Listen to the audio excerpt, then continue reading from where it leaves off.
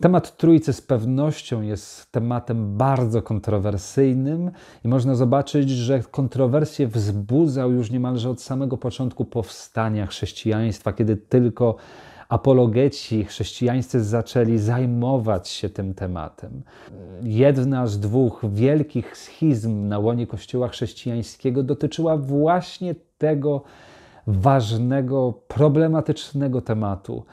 Kościół podzielił się na zachodni i wschodni, między innymi przez to, że nie zgodził się co do tematu, jak poszczególne osoby bóstwa mają się do siebie. Dzisiaj będziemy chcieli zobaczyć, co Księga Apokalipsy w kilku fragmentach e, mówi na ten temat, jak ona podchodzi do tego tematu. Serdecznie zapraszam na kolejne środowe koło ratunkowe z Księgą Apokalipsy.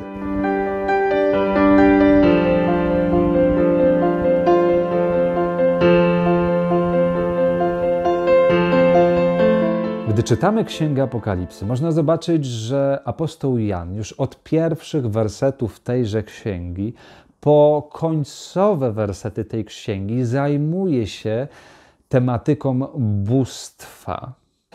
Już sam ten fakt pokazuje, że temat ten był dla niego na tyle istotny, na tyle ważny, że często wplatał te wątki w narrację tej księgi. Y, apostoł Jan chciał coś przekazać, a może innymi słowy, Bóg coś chciał przekazać przez apostoła Jana, bo należy wyraźnie stwierdzić, że tyle, co możemy powiedzieć o Bogu, to jest to, co sam zechciał o sobie objawić. E, w innym wypadku będą to tylko hipotezy, będą to tylko jakieś nasze wyobrażenia, natomiast y, mamy jedynie to, co Bóg sam o sobie zechciał przedstawić w tej wyjątkowej księdze, jaką jest Pismo Święte.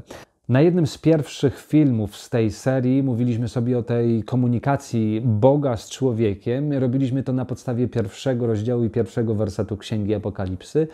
Nie będziemy teraz tego omawiać, możecie w każdej chwili do tego powrócić. Natomiast pierwszy werset mówi o tym, że ta komunikacja rozpoczyna się od Boga Ojca. Po środku jest Jezus Chrystus, który posyła swojego anioła do proroka i powiedzieliśmy sobie również, że chociażby na podstawie drugiego drugiego, drugiego listu e, apostoła Piotra, pierwszego rozdziału i tam wersety od 19 po 21, jest tam wyjaśnione, że prorocy byli natchnieni, byli prowadzeni e, Duchem Świętym.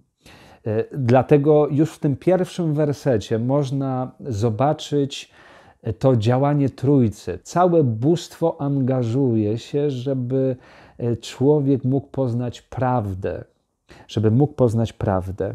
Jednak jeżeli chodzi o pierwszy rozdział, to tutaj wątek boskości e, bóstwa nie kończy się. Kiedy czytamy werset czwarty i dalsze, to czytamy tam pozdrowienia, apostolskie pozdrowienia. I czytamy tak. Jan do siedmiu zborów, które są w Azji, łaska wam i pokój. I teraz, od kogo jest łaska i pokój? Apostoł Jan wymienia od tego, który jest i który był i który ma przyjść. Tak, czyli to jest pierwsza osoba od tego, który jest, który był i który ma przyjść. To jest bardzo ciekawe, że apostoł Jan nie mówi od tego, który był, jest i przyjdzie, ale najpierw mówi od tego, który jest. Bóg przede wszystkim jest. On nie jest zależny od czasu, on po prostu jest. On jest, on był i on przyjdzie. To pokazuje w pewien sposób, że Bóg jest wieczny. Dalej, bo na tym nie kończą się te apostolskie pozdrowienia. Od siedmiu duchów, które są przed Jego tronem. Mówiliśmy sobie na ostatnim e, programie, w ostatnim odcinku, że siedem duchów to jest to symbol pełni Ducha Świętego. Liczba siedem to liczba pełni. I kiedy otwieramy księgę Izajasza na rozdziale 11, kiedy jest tam wspomniany sprawiedliwy potomek Isajego, Mesjasz, to jest tam powiedziane o nim tak. Jedenasty rozdział Księgi Zajasza, werset drugi. I spocznie na nim duch Pana, duch mądrości i rozumu, duch rady i mocy, duch poznania i bojaźni Pana. Zatem prorok Izajasz już w VIII wieku przed naszą erą opisywał w taki siedmioraki sposób Ducha Świętego i wydaje się, że jest to bardzo powiązane z fragmentem, który omawiamy w Księdze Apokalipsy, kiedy jest mowa o siedmiu duchach, które są przed Jego tronem. Duch Święty. Jednak również na tym apostolskie pozdrowienia się nie kończą, ponieważ kiedy czytamy werset piąty pierwszego rozdziału, to czytamy, że ta łaska i ten pokój jest również od Jezusa Chrystusa który jest świadkiem wiernym, pierworodnym z umarłych i władcą nad królami ziemskimi, Jemu, który miłuje nas i który wezwolił nas z grzechów naszych przez krew swoją i uczynił nas rodem królewskim, kapłanami Boga i Ojca swojego, niech będzie chwała i moc na wieków. Amen. No właśnie, to jest coś pięknego, to co zrobił dla nas Jezus i On również jest włączony tutaj w to zagadnienie Trójcy. Kiedy czytamy drugi i trzeci rozdział, gdzie znajduje się siedem przesłań Jezusa do kościołów w Azji Mniejszej, to jest ciekawe, że na, początku, na początku to Jezus przedstawia się jako ten, który mówi, natomiast kończy swoją wypowiedź, kończy swój list tym, że to Duch mówi. Zatem można zobaczyć, że słowa Jezusa Chrystusa są przekazywane przez Ducha Świętego. Jest ta współpraca, piękna współpraca. Dalej, idąc do rozdziału czwartego i piątego Księgi Apokalipsy, e, to, co omawialiśmy sobie przez ostatnie odcinki, szczególnie zachęcam do odtworzenia ostatniego. I tutaj mówiliśmy sobie e, o tym, że właśnie te dwa rozdziały w bardzo wyraźny przed, sposób przedstawiają właśnie Trójcę ponieważ w czwartym rozdziale jest pokazany Bóg Ojciec, który zasiada w centrum na tronie w niebie. Jest przedstawiony Duch Święty, który znajduje się przed tronem, a w piątym rozdziale jest ten moment, kiedy Jezus wstępuje do nieba, kiedy wraz z Ojcem zasiada na tronie, i to jest moment, kiedy Duch Święty jest wysłany na całą ziemię. Jest to czas pięćdziesiątnicy, jest to czas służby Ducha Świętego w szczególny sposób. E, w kościele, e, przez Kościół dla świata. E, ale w czwartym i piątym rozdziale jest jeszcze jeden bardzo ważny wątek, ponieważ kiedy czytamy czwarty rozdział, werset jedenasty, kiedy jest um, pieśń ku chwale Boga Ojca, to czytamy tam takie słowa: Godzien jesteś, Panie i Boże nasz, przyjąć chwałę i cześć i moc, ponieważ Ty stworzyłeś wszystko i z woli Twojej zostało stworzone i zaistniało. Zatem w tej pieśni użyte są takie trzy szczególne słowa na wyrażenie pochwały dla Boga. Kiedy czytamy rozdział piąty i tutaj otwieramy werset dwunasty, kiedy jest pieśń w stosunku do Chrystusa za dzieło zbawienia, tam Bóg Ojciec był czczony za to, że jest Stwórcą. Tak? Z tego względu Bogu należy się cześć, ale również z tego względu, że jest Zbawicielem. I kiedy Jezus dokonał dzieła zbawienia, to tam od 12 wersetu właśnie czytamy słowa tej pieśni. Godzien jest ten baranek zabity wziąć moc i bogactwo, i mądrość, i siłę, i cześć, i chwałę, i błogosławieństwo. Aż, siedem różnych słów, takich pochwalnych słów użytych w odniesieniu do Jezusa. Zatem trzy do siedmiu prawda? 3 do 7. To oczywiście w żaden sposób nie pokazuje, że Jezus jest wyżej, Bóg Ojciec niżej. Ja w ogóle bardzo chciałbym uniknąć tego, żeby, żebyśmy w taki sposób myśleli, ponieważ tak myśli e, umysł ludzki. Pamiętacie, co powiedział Jezus swojego czasu?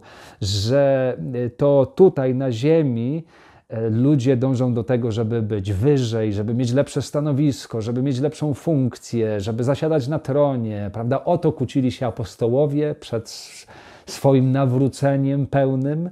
E, tak to zaprzątało ich umysły. Natomiast, na, natomiast wiemy, że w niebie tak nie jest. W niebie panuje zupełnie inna filozofia życia. E, Jezus powiedział, że kto jest największy, ten e, jest ten ma być sługą, tak? Kto jest pierwszy, niech będzie ostatni. Można zobaczyć zupełnie inna filozofia niż my tutaj mamy na ziemi. Nie czyńmy sobie takiej hierarchii. E, z tego względu, że niebo kieruje się innymi wartościami. I dlatego niektórzy mogą mieć pretensje, że Duch Święty nie ma tronu, dla, dla, dlatego może nie jest osobą boską. Jednak, e, kiedy czytamy właśnie Księgę Apokalipsy, to można zobaczyć, że Duch Święty ma bardzo konkretną rolę w tych czasach do odegrania. On e, działa na rzecz zbawienia człowieka, służy mu, jest wysłany na ziemię, ma konkretną misję do spełnienia. To może nie jest czas, żeby zasiadał na tronie, to może nie jest czas, żeby był w taki sposób ukazany, tak samo jak dla Jezusa nie było czasem zasiadania na tronie, kiedy zawisł na krzyżu, prawda? To zupełnie coś innego. Dlatego to, że nie widzimy go dzisiaj na tronie, to wcale nie znaczy, że nie jest Bogiem. To nie umniejsza e, jego osobie, jego e, wartości, a wręcz odwrotnie, bo pamiętajmy, że niebo kieruje się innymi wartościami. Ten, który gotów jest zniżyć się najniżej, ten jest godzien najwyższej czci. Tak? Zobaczcie, że Jezus zszedł na samo dno, z samej wysokości, I za to ma taką pieśń pochwalną. A poza tym, czy Duch Święty zasiada na tronie, czy też nie zasiada, to już zależy od Ciebie i ode mnie, ponieważ On chce zasiadać na tronie naszych serc. I to my możemy Go obalić, zrzucić z tego tronu, ale również możemy dać Mu zaszczytne miejsce, żeby był naszym wodzem, żeby nas prowadził, żeby rządził nami. Zatem podsumowując pięć pierwszych rozdziałów Księgi Apokalipsy, które do tej pory przez te ostatnie miesiące udało nam się w jakiś sposób omówić, możemy zobaczyć, że one również mają sporo do powiedzenia na temat e, boskości, tego boskiego trio czy trójcy. Wydaje się, że mm, apostoł Jan e, chciał przekazać te informacje, Bóg chciał przez apostoła Jana przekazać te informacje, ponieważ chce dać się w jakiś sposób poznać człowiekowi. I to jest piękne, że Bóg nie chce, żebyśmy żyli w jakiejś takiej zupełnej niewiedzy to, co do Jego istoty, ale On w pewien sposób się objawia i chce, żebyśmy czerpali z tego objawienia. Chce, żebyśmy współpracowali z tym objawieniem, żebyśmy żyli z tym objawieniem, e, żebyśmy to objawienie mogli wykorzystywać w codziennym naszym życiu, byśmy mogli przez to nawiązywać prawdziwe i głębokie relacje z Bogiem, e, czego życzę Tobie, również sobie. Niech Bóg w Trójcy jedyny błogosławi nami, nas prowadzi. Z Bogiem.